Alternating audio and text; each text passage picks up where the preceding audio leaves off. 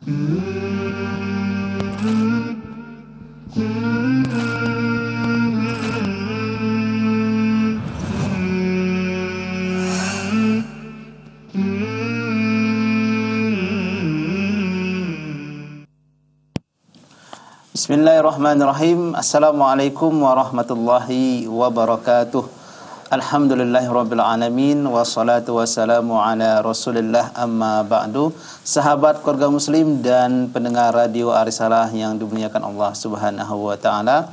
Alhamdulillah di sore yang berbahagia ini kita kembali lagi di Bincang Sehat dan pada sore ini kita akan ditemani oleh Dr. Rafki Yanwar Beliau sudah hadir bersama kita di sini. Kita akan sapa terlebih dahulu. Assalamualaikum dok. Waalaikumsalam Mas Darus. Iya. Alhamdulillah. Iya. Sehat dok ya? Alhamdulillah sehat. Iya lancar jalan kemari dok. Lancar jaya. Lancar jaya dok ya. Alhamdulillah ya. Biasanya di sore hari Medan juga termasuk macet dok ya. Iya. Okay. Alhamdulillah bisa sampai ke studio Salam TV kembali. Iya. Baik Alhamdulillah. Dan hari ini kita uh, dok berbincang mengenai uh, manfaat ngopi bagi kesehatan dok oh, ya. Iya, Oke okay. ini sangatnya sangat menarik sekali sahabat gua muslim tentunya bagi anda yang sangat uh, suka atau candu dengan uh, ngopi tiada hari tanpa ngopi seperti itu. Nah, ini sangat perlu sekali untuk ketahui uh, mungkin apakah ada efeknya, uh, mungkin apakah uh, apa namanya uh, ada juga bahayanya seperti itu. Oke. Okay. Nah, mungkin hari ini manfaatnya aja nih, Dok ya. Oke. Okay, okay. Baik. Nah, uh, sebelum lebih jauh nih, Dok, kita akan uh, berbicara itu ngopi itu apa sih, Dok sebenarnya? Ya, alhamdulillah pemirsa Salam TV yang dimuliakan Allah, teman-teman Salam TV, terima kasih. Kembali lagi sore ini ya, kita membawakan satu materi kesehatan yang saya rasa sih ringan-ringan aja ya, yeah. terlalu sulit. Dan kita hobi untuk melakukan setiap hari gitu ya. Jadi ngopi lah ya kita bilang ya. Sebenarnya ngopi itu kalau saya cari-cari lagi hmm. terminologinya itu tidak hanya mengacu kepada kopi gitu ya, tapi hmm kependekan dari beberapa kalimat gitu ya kayak iya. ngolah pikir mm-hmm. atau ngobrol pintar. Tapi iya, iya. yang kita akan bicarakan kali ini adalah satu topik tentang aktivitas dalam minum kopi. Mm-hmm. Uh, okay. Yang iya. sebenarnya kalau kita ketahui banyak manfaatnya juga mm-hmm. tapi ada juga uh, kerugiannya oke okay. uh, uh. baik benar sekali dok ya seperti yang dokter sampaikan tadi uh, sepertinya ngopi itu bukan hanya sekedar aktivitas minum kopi saja dok ya tapi memang di situ uh, ada juga uh, seperti yang dokter sampaikan ngobrol pintar kemudian ada juga ngolah pikir juga ada juga emang e, menghilangkan stres mungkin dok ya. ya Kita benar. lihat banyak sekali dok ya orang pergi ke apa namanya warkop seperti benar. itu dok ya, pesan secangkir, ya. duduknya satu jam dua jam bahkan ada seharian seperti itu ya, dok benar, ya. Benar. Apalagi di daerah Aceh nih dok ya, benar, ya benar. di sana e, apa namanya banyak sekali kopi khususnya di Aceh Tengah dan Aceh-Aceh yang lain juga itu hmm. banyak sekali dok apa namanya warung itu tempat duduknya itu luas seperti ya, itu. betul. Jadi okay. sebenarnya itu aktivitas mm-hmm. yang mm-hmm.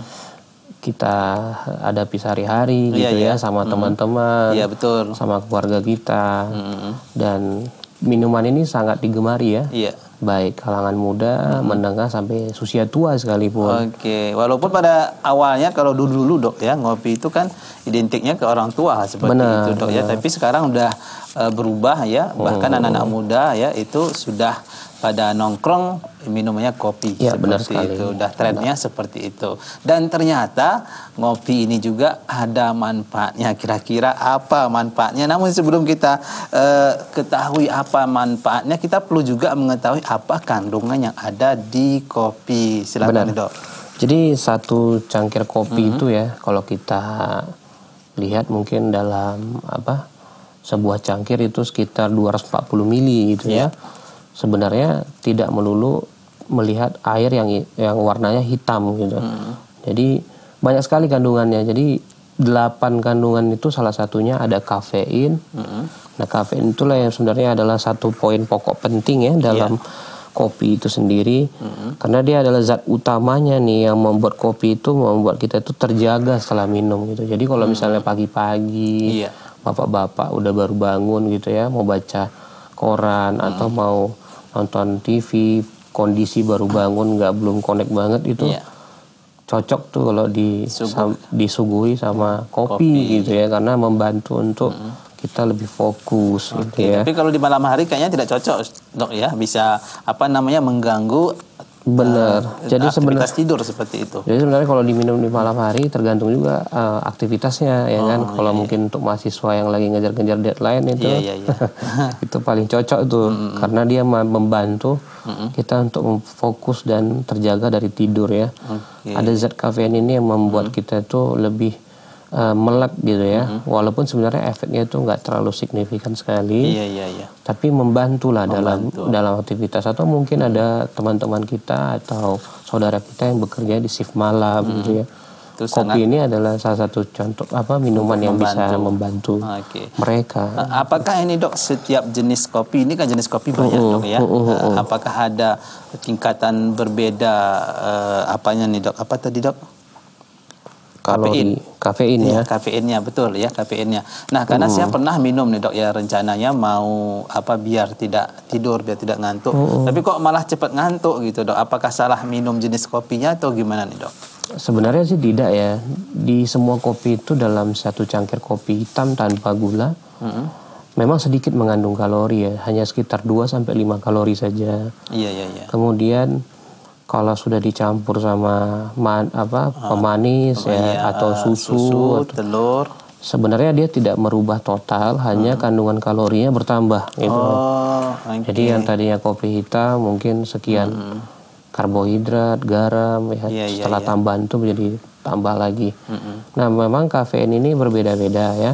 Iya iya. Beda dari sumbernya didapat, beda juga kandungannya. Tapi memang dalam satu satu cangkir kopi itu memang ada sekitar 120 mg kafein ya. Kafein. Sampai 200 mg kafein yang bisa kita dapatkan untuk saat kita minum gitu. Oke. Ya mungkin karena apa dok ya udah ditambah dengan susu, tambah gula, mungkin sudah kalorinya tinggi, jadinya bawaannya ngantuk. Apa bisa Benar. seperti itu dok ya? Bisa Iya. dok ya? Sebenarnya eh, kalau memang tujuannya untuk me- meningkatkan fokus, Iya iya. terjaga dari tidur, adalah sebuah kopi hitam yang paling bagus memang. Oke, tanpa gula, tanpa tanpa, gula. susu dok iya, ya. karena memang cara minum kopi yang sebenarnya itu kan begitu ya. Begitu baru dapat Heeh, kesehatannya gitu dok ya. kesehatannya. Tapi memang kan belakangan ini orang tidak ada yang tidak cocok dengan rasa pahit yang Iya betul. sangat signifikan gitu. Jadi dicampur lah. Tidak merubah to- tidak merubah total dari manfaat kopi itu sendiri, cuma memang bertambahlah kandungannya. Kandungan, oke, baik. ah, Kandungan maksudnya di sini apa yang kita masukkan Benar, itu, dok ya. Oke, selain kafein apa lagi nih dok? Ya sebenarnya ada beberapa kayak pasti mengandung air ya. Iya, Kalau kalau kita larutkan kopi itu ke dalam air pasti kalau satu cangkir kopi ya 90 persennya ko, ko- apa air, sekitar 10 persen ke bawahnya itu pasti kandungan kopinya itu sendiri ya. Kemudian dia ada etilpenol, etilpenol ini sebenarnya eh, kalau dirasa di mulut kita itu ada aroma kopinya gitu waktu kita minum gitu. Iya. Itulah etilpenol itu tadi. Ini juga kayaknya berbeda-beda dok ya. Iya, Karena ada benar. Iya. juga seperti ada asamnya gitu kan dok, ada manisnya seperti itu. Dulu kita kenal biji kopi itu kan eh, tidak terlalu banyak jenisnya. Nanti kita bahas ya, ada Iya, beberapa iya, iya. dua jenis gitu. Tapi dengan adanya etilpenol yang berbeda-beda di setiap tanaman tuh bisa kita rasa oh ini beda nih jenisnya biji kopinya ini gitu berbeda. ya. Saya rasa setiap orang pasti punya biji kopi yang digemari dia lah Iya berbeda-beda. betul, iya. Ada lagi quinine acid ya. Ini memberi rasa asam pada kopi. Jadi Oh iya ya, mungkin Sebenarnya- yang tinggi dok ya. Ya sebenarnya minum kopi itu ada beberapa teknik, ada yang diseruput gitu Iya, ya, ada yang dibiarkan mungkin dalam keadaan panas diminum gitu ya sedikit. Jadi ada tiga rasa yang bisa kita dapat tuh, ada asam, pahit sama manis. ya Manis, kan? iya betul. Nah di di quinine acid ini juga memberi rasa asam pada kopinya Iya, gitu iya. ya. Mungkin ini dari sebagian daerah ya bagian kanjat ininya banyak seperti itu dok ya, sehingga benar rasa sekali. asamnya itu lebih tinggi. Kemudian ada dimetil, disulfit ini ya, ini kandungan kopi yang masih apa mentah ya. Kemudian ada asetil metakarbinol gitu ya. Ini ada membuat kopi itu terasa lebih gurih lagi. Kalau kita cuma minum air putih mungkin tawar dan segar, tapi minum kopi itu banyak rasanya. Oke, bahkan bagi mereka yang sudah eh, pecandu nih dok, bisa dikatakan sudah ahli yang kopi, mereka minum kopi itu tidak boleh langsung sekali minum gitu dok ya. Iya benar. Harus menikmati apa. Dan jadi kopi itu sebenarnya antioksidan gitu ya. Oh, Oke. Kopi yang baik itu dia bisa gitu ya. Eh, salah satunya kan apa namanya oksidatif ya yang merugikan tubuh. Iya. Nah kopi ini punya antioksidannya, anti radikal bebas seperti itu untuk mengurangi dampak yang merugikan tubuh gitu. Oke, mungkin ini eh, yang membuat kenapa sebahagian pecandu kopi mengatakan saya itu lebih memilih minum kopi ketimbang sarapan pagi seperti itu ya. Bahkan ada yang ngomong seperti itu karena kalau sudah minum kopi itu mereka merasa badannya itu lebih tambah semangat, lebih segar gitu dok ya. Iya, Mungkin benar. karena kandungan zat ini tadi dok ya yang bisa eh, apa namanya menambah daya tahan tubuh seperti itu. Wah luar biasa nih dok ya. Iya. Banyak sekali eh, kandungan-kandungan kopi ternyata sahabat keluarga muslim ini bermanfaat untuk tubuh kita. Salah satunya Iya. tadi yaitu untuk antioksidan tentunya menambah daya tahan tubuh dok Benar. ya. Oke selain itu ada lagi dok Eh, sebenarnya kandungannya sih terdiri dari delapan itu aja ya. delapan ya. Ah, Eh, dan pertama memang tadi ya. bisa bervariasi lah tergantung dari beberapa yang sumber yang bisa kita dapatkan gitu. Tapi memang sebuah kopi itu pasti dia punya uh, tentunya. kafein. Kafein yang nggak mungkin nggak punya ada, kafein. ya. Ada ada yang ada yang nggak punya kafein. Ada. Ada Ini jenis dan apa nih dok? sejenis kopi juga. Hmm. Cuman memang kafeinnya kan ada beberapa pecinta kopi yang memang tidak bisa dapat kafein ya. Oh, Nanti kita bahas yang terakhir Oke, itu. oke, oke. Kalau kenapa kopi dihindari dari beberapa aspek gitu ya. Ya dibuatlah kopi yang non kafein gitu ya. Oh, Saya kurang tahu juga tuh dapat rasa mm, rasa manis pahitnya itu dari mana gitu. ah, Oke, ya baik mungkin ada segmen khusus nanti ini dok ya, Ya, benar. atau kita datangkan pakarnya kopi ya misalnya. Oke, baik itu dia tadi sahabat Gomsi beberapa hal ya kandungan kopi ternyata ada juga eh, manfaatnya bagi kita. Jadi bagi pecandu kopi ini tentunya semakin semangat nih dok ya. Benar, benar, Oke, tapi segala sesuatu itu tidak boleh berlebihan dok ya, Benar sekali. karena ada kafeinnya tadi dok ya. Benar ada kafeinnya. Jadi sebenarnya eh, ada batas-batas toleransi juga. Tapi memang itu bervari- bervariatif ya. Ada yang sampai 4 gelas per hari bisa bisa ditolerir. Ada yang sampai lebih dari 4 gelas gitu ya Iya. masih bisa diminum ya. Satu gelas itu paling sekitar 240 mili dan memang tidak diperkirakan akan dicampur dengan susu ataupun gula. Oke. Nah, tergantung orang yang selera dalam minum kopi itu bagaimana. Karena memang kopi itu sendiri pun bermacam-macam jenisnya gitu ya. Ada yang bu- ada yang benar-benar pahit, ada yang ada yang asam tapi rasanya sedikit manis, berbeda-beda memang. Oke, baik dok. Ya sebelum kita akan lanjutkan kembali obrolan kita mengenai kopi ya, atau ngopi sahabat gua muslim jangan ke mana-mana. Kita akan kembali setelah pesan-pesan berikut ini. Oh,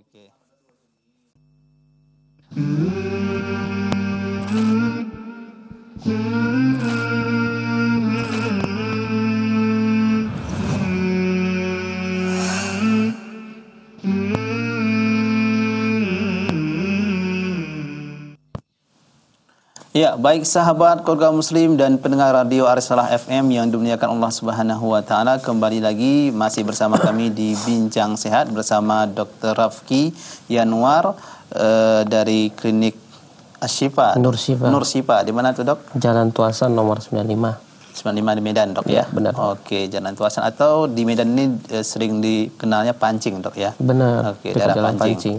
Oke. Iya, eh, tadi kita sudah sampai mengenai eh, apa namanya eh, kandungan dok ya, Iya, kandungan dalam kopi ternyata banyak sekali sahabat gua muslim. Kenapa kopi itu ada rasanya pahit, asam ya, bahkan tadi ada seperti renyah gitu juga dok ya. Gurih. Gurih ya. Gurih, ya. Oke, afan ya. Renyah sama gurih beda dok ya. Oke. Emangnya ini keripik dok ya. Oke. Baik ya. Nah, eh tadi ya terkait ini dok eh, bahwasanya kopi ini apakah ada kandungan kalorinya juga dok? Ini Iya. seperti apa dok? Ya sebenarnya di kopi itu sendiri atau setiap minuman pasti ada kalorinya. Oke. Nah, kalau kopi itu eh, termasuk rendah ya, sekitar 2 sampai 5 kalori saja di setiap satu cangkir kopinya. Kemudian dia pun ada kandungan garamnya sekitar 2 mg. kemudian pasti ada banyak sekali mengandung air ya kalau Hmm. kita seduh-seduh dengan air gitu kan kemudian kalau dalam satu shot espresso aja pun cuma satu kalori. Jadi nggak usah khawatir gitu untuk yang diet atau Iya, yang iya, takut gemuk dengan minum kopi susah gitu. Nah ini akan jadi beda ceritanya kalau kopinya itu dicampur dengan ya, pemanis ya Iya, iya. susu ataupun gula, gitu ya. Ini yang bisa membuat satu kopi cangkir kopi itu yang tadinya 2 sampai 5 kalori bisa jadi 100 bahkan bisa sampai 500 kalori yang hampir sama dengan nasi, Nasi gitu. ya.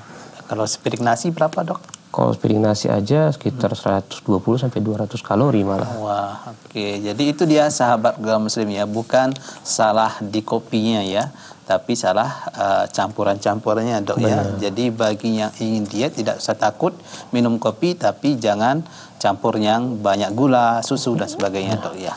Oke, baik. Jadi kalori tadi, kalori di kopi sangat rendah sekali. Nah, untuk jenisnya ini seperti apa dok? Saya sangat awam sekali dengan kopi ini dok. Kalau saya misalnya ke kedai kopi atau warkop itu minum, saya hanya pesan kopi aja gitu dok. Nggak ngerti Kopi apakah gitu ya? itu, iya, apakah itu jenis ini, jenis ini nggak ngerti. Iya Gimana, benar. Dok? Akan berbeda ya kalau kita ngopi di tempat yang warung-warung di luar, pinggir-pinggir jalan, atau kalau kita ngopi di tempat kafe-kafe gitu ya. mm. Bukan membedakan dalam status eh, ekonomi ya tidak, tapi memang dalam pemakaian bubuknya berbeda memang. Oke. Satu contoh, kalau di warung-warung biasa lebih suka pakai robusta ya. Robusta ini lebih lebih hitam, lebih pekat, lebih pahit, kadar kafeinnya lebih tinggi, 2,7% daripada arabica dan digemari sama orang tua, kemudian apa karena harganya juga lebih murah, saudara-saudara. Bisa jadi lebih murah karena memang pakai robusta. Dan sebenarnya dia lebih cenderung alami ya. Kalau kita lihat. Oh, kan kita kalau ngopi di luar itu jarang kita ketemu yang sasetan Iya. atau sudah dalam bentuk bungkus. Mungkin mereka udah beli dalam apa satu wadah gitu ya. Mereka ambil darah di eh, di supplier mereka yang udah biasa mereka ambil gitu ya. Nah robusta ini seperti itulah dia lebih pahit kemudian kadar kafeinnya lebih tinggi dan mungkin akan apa bagi orang yang tidak tidak baru coba-coba minum kopi akan terasa berbeda gitu ya. Kok pahit banget gitu ya dibandingkan ngopi di tempat yang berbeda. Oke. ada juga yang namanya arabica gitu ya. Arabica ini dia lebih manis dan asam di mulut gitu. Kadar kafeinnya lebih rendah. Yang muda-mudi ini suka sekali minum ini. Oh, karena memang dia aromanya berbeda ada asam-asamnya dan sangat digemari sama yang muda gitu ya kadar kafeinnya lebih rendah dan memang kadang dia di apa divariasikan dengan tambahan-tambahan yang lain gitu kemudian kita banyak sekali kan lihat arabica dari jenis wilayah sana Iya. arabica wilayah sana, di sini gitu ya Aceh Kalimantan Papua itu berbeda semua iya. Robusta juga ada yang seperti itu, bukan berarti nggak ada. Nah itu sih pembagian dari dasarnya ya. Walaupun ada juga saya baca beberapa sudah ada yang seperti Excelsior gitu ya. Itu ada lagi jenis kopi olahan yang berbeda gitu ya. Tapi memang secara umum cuma terbagi dua ini aja. Oke, robusta tadi Dan sama Arabica. Arabica. Robusta tadi mungkin bisa kita bilang identik ini orang-orang tua seperti itu dok ya? Ya Atau memang ada di- juga sih yang ada- muda yang suka sama robusta gitu kan. Oke, Apalagi kalau mereka mau dapat kafein yang tinggi itu. atau mungkin mereka campur gula dan rasanya lebih enak, mereka pilih robusta. Oke, yang buat Tapi tidak mereka nggak tahu itu robusta apa enggak. Iya betul, saya juga seperti itu dok. Berarti yang membuat kita tidak ngantuk cepat tadi robusta dok ya? Ya sebenarnya kafeinnya, Ah, Ah, kafeinnya, kadar kafeinnya pada jenis kopinya. Oke. Memang robusta lah yang lebih tinggi di, dibandingkan arabica gitu ya. Tapi itu kembali lagi ya, kalau misalnya sumber dari biji kopinya tadi itu mengatakan berbeda, bisa jadi lebih tinggi ada juga. Tapi memang variasi rasa asam sama manis itu lebih dapat di arabica memang. Oke. Tapi kalau untuk zat yang berperan sebagai antioksidan tadi ini sama oh, keduanya sama, pasti punya, dua-duanya pasti punya gitu ya. Selama olahannya baik gitu ya, kemudian ngopinya juga benar gitu Iya. ya. Eh, tetap dapat antioksidannya. Karena biji kopi itu pasti kan diseduh gitu ya dan dia pasti mempunyai efek antioksidannya. Oke, kalau di KP-KP gitu dok, apakah semua mereka hanya jual Ara- arabica saja atau ada juga robusta seperti itu dok? Ada dua-duanya disediakan mereka. Bagi yang paham pasti Akan memilih. akan memilih gitu ya. Tapi memang eh, kalau kafe, kafe kekinian saya rasa kalau dia mau ambil segmentasinya pemu- muda-mudi, kayaknya cenderung arabica ya gitu ya. Karena kan kok rasa kopinya beda ya, ada ada manis sama asamnya gitu. Nggak, malah kadang ada yang nggak nyebut lagi dia ambil kopi dari mana. Oke, betul Nah itu memang rahasia pabrik masing-masing gitu. Iya iya iya.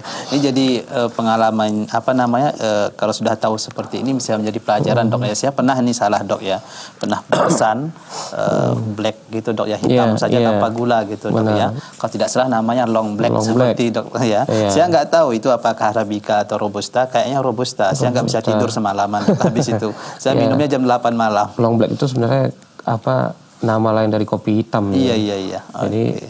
biasanya yang pakai nama-nama itu kafe-kafe apa Eropa gitu ya yang Betul. buka di Indonesia. Iya iya iya. Kirain itu keren gitu ya. Ah, iya. Sama kayak americano gitu ya. Begitu datang lo kok kopi hitam gitu. ya. Iya. Berarti sekali lagi mungkin kita bisa kalau biar nggak eh, apa namanya nggak bisa tidur seperti itu, Iya. arabica seperti itu dok ya. kalau tidak mau eh, apa namanya terhalangi tidur kita. Oke, baik itu dia sahabat eh, keluarga muslim dan pendengar radio Arisalah ya. Anda Anda juga bisa ya bagi anda yang ingin bertanya mungkin ya bisa eh, menghubungi kita ya mengenai kopi atau ngopi ya. Baik kita akan lanjutkan kembali ini setelah kita mengetahui bahwasanya apa saja kandungannya, kemudian jenis-jenisnya tadi dan ya apa saja manfaatnya nih Dok sebenarnya. Iya.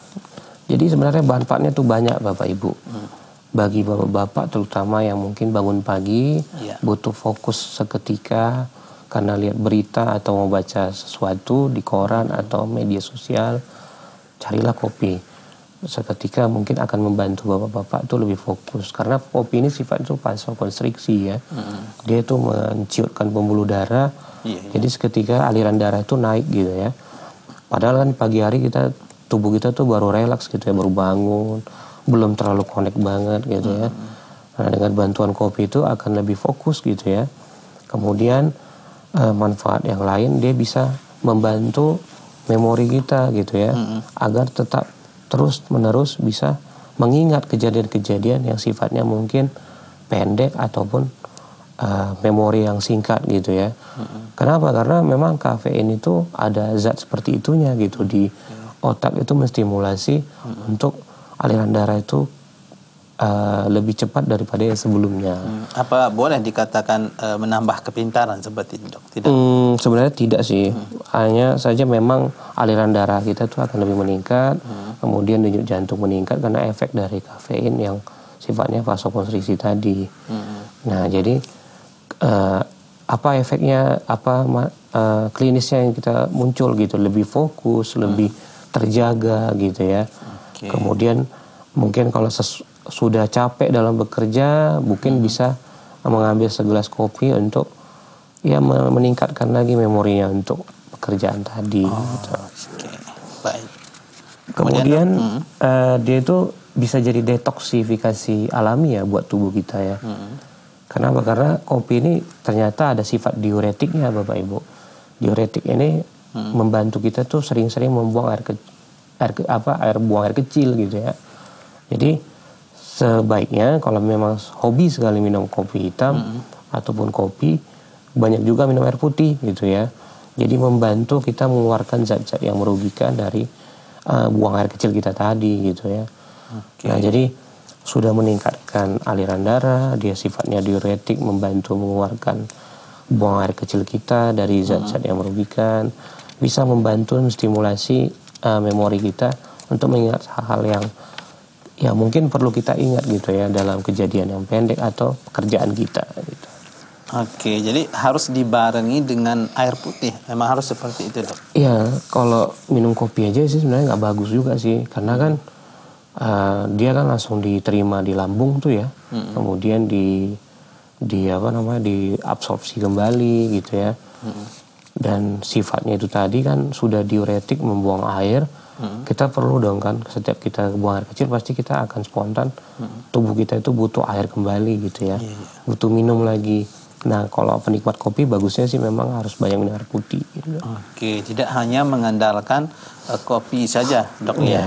Oke, nah itu dia uh, tadi beberapa hal sahabat keluarga muslim, keluarga muslim dan pendengar radio Arisalah uh, manfaat dari uh, ngopi. Nah, mudah-mudahan manfaatnya ini tadi bisa kita dapatkan dan nantinya kita bisa menghindari bahayanya apa saja kira-kira uh, yang harus kita hindari dari kopi ini. Namun sebelumnya kita jeda terlebih dahulu, jangan ke mana-mana. Kita akan kembali setelah pesan-pesan berikut ini.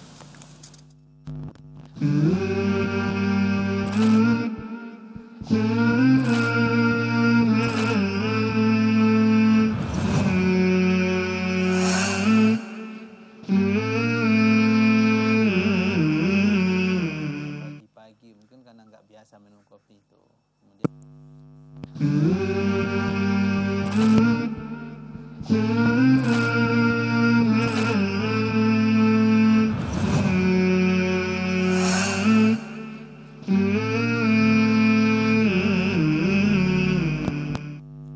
baik sahabat keluarga muslim dan pendengar radio Arisalah masih bersama kami di Bincang Sehat Manfaat Ngopi untuk Kesehatan ya bersama Dr. Rafki Yanuar dari Klinik Nur Shifa Jalan Tuhasan dok ya, ya. nomor 95. 95 atau lebih dikenalnya kalau orang Medan itu Pancing ya daerah Pancing. Oke, baik eh, kita tadi sudah sampai membahas manfaatnya ya. Jangan dulu kita eh, senang ini manfaatnya sudah tahu tadi ya kan banyak manfaatnya dan nah kapan kira-kira dan siapa ya? Kapan dan siapa yang harus menghindari kopi ini? Silakan ya, Dok. Ya, jadi yang pertama itu hmm. dia pasti punya manfaat, yeah. tapi juga pasti harus hati-hati Bapak Ibu hmm. ya, ada yang harus menghindari kopi malahan okay. ya. Jadi orang-orang yang menghindari kopi itu seperti apa ya hmm. gitu ya. Pertama, orang yang punya gangguan jantung sama tekanan darah ya. Oke, okay, itu nggak ya. disarankan ya. untuk minum kopi. Karena beberapa kopi malah justru menaikkan irama jantung sama uh, tekanan darah. Bayangkan kalau misalnya sudah sudah ada gangguan irama jantung, hmm. kemudian minum kafein lagi, atau tekanan darahnya tinggi minum kafein lagi pasti akan berubah dia justru malah menimbulkan efek yang merugikan berbeda kalau misalnya kita kita tidak punya masalah jantung atau tekanan darah yang mungkin lebih sering lemas mm-hmm.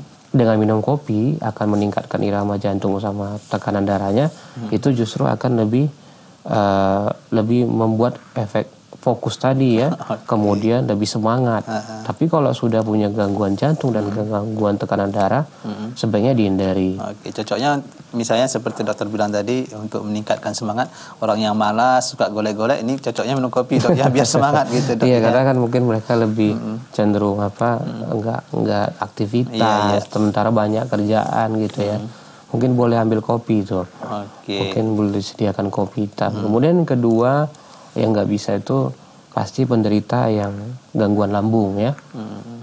Kalau sudah punya gangguan lambung, hati-hati dalam minum kopi ya. Jangan langsung memutuskan minum kopi hitam tanpa gula lagi atau mungkin uh, yang biasa diminum sama uh, orang-orang tua yang kita kenal gitu ya. Hmm. Itu begitu diterima sama lambung efeknya malah justru merugikan gitu ya karena yang tadinya lambungnya mungkin harus terima sarapan pagi nasi yeah. ataupun lontong hmm. begitu dapat apa kopi, kopi ya hmm. seperti tadi abang bilang masuk ke rumah sakit, sakit. jadi iya, iya. jadi dia kumat lambungnya gitu ya okay. nah kalau misalnya mau coba-coba minum kopi hmm. bagi penderita lambung ambillah kopi-kopi green coffee ya hmm. itu lebih lebih bersahabat di lambung okay. anda atau coba dulu mungkin kopi arabica yang ada hmm. manis dan asamnya hmm. bisa dicampur sama olahan hmm. manis gitu ya jangan langsung robusta mungkin ya. Oke. Kalau green kopi ini seperti apa nih? Kopi hijau ya, itu hmm, dari kopi, dari biji kopinya gitu ya, diolah oh. kemudian ada ada warna hijaunya dan memang beberapa produk saja sih yang mengeluarkan itu gitu ya. Hmm. Dan ada juga sih beberapa penelitian yang katanya tidak tidak bermasalah di lambung gitu ya. hmm. ya. Karena penderita lambung ini bervariatif ya. Ada yang Iya, iya. sensitif sekali, ada yang memang ringan-ringan saja gitu. Oke. Saya pernah nih dok ya, eh, seperti yang dokter sampaikan ini memiliki penyakit lambung ya. Saya pernah dulu pernah punya teman, ini langsung dibawa rumah sakit seperti itu dok. Pagi-pagi Iya. dia eh, belum sarapan tapi minum kopi seperti itu. Iya, jadi sebenarnya bagi yang sudah punya gangguan lambung nggak boleh ya Iya iya. men-skip atau melewati sarapan gitu ya. Ataupun melewati apa namanya makan siang gitu atau makan malam ganti sama kopi, kopi hitam lagi gitu kan. Kopi yang olahan saja yang ada ada gula atau susu aja masih tetap merasa nggak enak di di apa nama lambung kita. Karena kan ketemu dengan asam lambung sifatnya le- menjadi asam itu akan membuat reflux dan cenderung mau mual dan muntah gitu kan. Ya memang efeknya tidak permanen sebentar sih. Iya, tapi iya, pasti merugikan lah ya. Jadi orang-orang tadi ya yang punya gangguan lambung kemudian ibu hamil ya tidak disarankan memang karena kan ibu hamil sama anaknya itu mau dapat nutrisi ya dari plasenta yang masih tertanam dan tersambung di rahim ibu. Dan dengan adanya kopi kan kita takut ada efek ada efek vasokonstriksinya ya gitu ya. Malah menyempit gitu yang tadi yang mungkin lancar-lancar saja aliran darahnya mungkin terganggu gitu ya memang tidak disarankan gitu ya. Hmm, Oke, bukan karena nanti janinnya nggak bisa tidur bukan seperti itu dok. benar. Kemudian Iya. orang yang punya gangguan migrain ya Mm-mm. migrain ini berbeda dengan sakit kepala ya. Ada yang sakit kepala biasa justru dengan minum kopi malah sembuh gitu. Memang ada tapi kalau jenis migrain apalagi migrain yang ada pemicunya tidak disarankan minum kopi malah jus- justru lebih membuat itu jadi sakit kepala gitu Oke, walaupun tadi eh, di awal dokter sampaikan ini bisa membantu untuk meringankan sakit kepala dok ya. Bisa. Jadi kalau orang yang punya sakit kepala yang nggak berhubungan sama migrain, ya kan jenis-jenis sakit kepala tuh banyak ya. Iya, Diagnosa medis sakit kepala tuh sangat banyak. Kalau dalam ilmu neurologi gitu ya. Mm-mm. Nah, kafein tuh berperan penting juga salah satunya untuk meredakan nyeri kepala. Kok bisa dokter? Karena dengan mengurangi aliran darah pada vasokonstriksi di pembuluh darah otak tadi, Iya. nyeri rasa nyeri tadi itu lebih berkurang dia. Kalau kata-kata sumber yang kita baca ya. Iya iya. Tapi kalau bagi penderita migrain karena sifatnya pemicu, Iya. maka akan muncullah gejala migrain tadi gitu. Oke. Nah, yang terakhir mungkin inilah ya orang-orang yang mau ujian ya. yang mau apa? Mau sorry bukan ujian, mau istirahat gitu ya. Capek gitu Iya, ya. iya. Pengen habis tidur. kegiatan, pengen tidur, jangan ambil kopi gitu ya. Iya. Mungkin sebaiknya ambil teh aja atau air putih gitu ya. Mungkin malam hari nggak nggak usah makan lagi, ya ambil teh aja gitu ya. Karena nggak ada sifat apa namanya kafeinnya yang tinggi yang bisa membuat kita tuh terjaga gitu ya. Jadi justru kita yang mau tadinya istirahat gara-gara minum kafein Iya. malah jadi terjaga, malah jadi nggak bisa tidur gitu. Oke, berarti dari sisi waktu bisa kita eh, bilangkan bagi mereka yang apa namanya malam hari itu sudah tidak ada aktivitas ingin istirahat ini tidak dianjurkan dok Ya, ya. sangat tidak tidak dianjurkan sekali sih. Hmm, Oke. Ada beberapa memang orang yang bisa minum kopi dalam kondisi mau tidur, tapi uh, itu bertentangan sama efek yang dia dapat gitu ya. Justru malah uh, nggak membuat tidur itu jadi nyenyak biasanya. Jadi carilah momen juga gitu ya. Kalau diminum pagi hari sudah tepat malah. Oke. Uh, jadi Tapi di, di pagi hari ini dok, eh, bagi mereka yang tidak sakit juga apa eh, tetap sarapan dulu atau Sarapan dulu, tetap sarapannya yang kalau di kaidah di medis itu sarapan pagi itu tidak usah berlebihan ya. Kalau berlebihan pasti buat ngantuk gitu. Jadi yang secukupnya aja sudah diminum pakai kopi hitam ya. Insya Allah lebih membantu bapak-bapak ini terutama untuk lebih fokus kerja dan melihat apalah ya sosial media atau TV gitu ya berita-berita Oke. itu akan lebih enak rasanya. Hmm. Kalau eh, kata cukup sarapan di sini untuk kita yang masyarakat eh, biasanya di Medan itu lontong ini sudah cukup bisa dikatakan cukup nih dok. Ya lontong itu sebenarnya kan sarapan orang Medan ya, Iya, iya. yang penuh dengan santan. Saya pun nggak bisa bilang itu ideal gitu Iya, ya. Eh, carilah komposisi sarapan itu yang seimbang gitu ya. Mungkin kuahnya dikurangi ya. Kalau telurnya sudah bagus dok Sudah ya? bagus ya. Kemudian dia punya Sayur apa, juga, dok, sayur-sayur ya. kan juga sudah ditambah Iya, iya, gitu ya. betul. Kemudian lontongnya itu mungkin Hmm, dikurangi tid- juga, dok, ya. dikurangi tapi mungkin nggak ada masalah sih Iya, karena kan dia nasi yang agak lebih kembang sedikit gitu kan. Hmm. Atau minyak santannya itu, dok, ya? santannya sebenarnya santannya itu sih yang apa? Oke, yang Tapi memang sarapan di Medan ini kan nggak lepas dari santan ya. Iya betul iya bahkan nasi gurih aja udah pakai santan dok Benar, ya, ya. benar. Oke baik eh, itu dia tadi dok ya beberapa hal eh, kapan dan siapa saja yang harus menghindari kopi sudah kita ketahui namun karena keterbatasan waktu kita nih dok ya sebelum kita berpisah kita meminta ke dokter untuk eh, menyampaikan kesimpulannya dok silakan dok. Ya, jadi Bapak Ibu eh, sebenarnya aktivitas ngopi ini sangat bermanfaat dari dunia medis ya. Eh, ini sangat membantu dari segi kesehatan ya. Sudah terbukti memang dia di beberapa jurnal meningkatkan kesehatan jantung kita, meningkatkan kesehatan aliran darah bagi pikiran kita gitu ya yang ingin fokus, membantu stamina lebih terjaga. Dan ini ada satu bentuk aktivitas yang positif gitu ya. Namun perlu diketahui juga bagaimana dalam olahan kopinya, bagaimana kebiasaan Bapak Ibu menyikapi kopi apakah memang bisa menerima atau tidak gitu ya. Atau perlu konsultasi terlebih dahulu dengan medis. Ya tidak ada masalah sih sebenarnya karena memang eh, jangan sampai yang tadinya mungkin belum pernah minum kopi dan akan menimbulkan efek yang merugikan gitu ya. Nah satu jelas ko- cangkir kopi ini sih sudah di sudah dianjurkan ya bang Darus ya. Setiap harinya boleh dikonsumsi untuk eh, menimbulkan efek-efek positif yang tadi kita bilang gitu. Jadi sewajarnya bisa kita minum. Namun uh, harap dicatat ya apa-apa saja yang perlu kita hindari sebelum kita minum kopi agar tidak menimbulkan efek yang merugikan. Oke. Itu aja. Baik, terima kasih banyak dok ya atas eh, penjelasannya hari ini dan kesimpulannya mudah-mudahan apa yang dokter sampaikan bermanfaat untuk kita semuanya, khususnya kepada sahabat keluarga muslim yang ada di rumah. Dan akhirnya saya Darusdian pamit undur diri. Insya Allah kita akan bertemu kembali di Kamis yang akan datang. Assalamualaikum warahmatullahi wabarakatuh. ada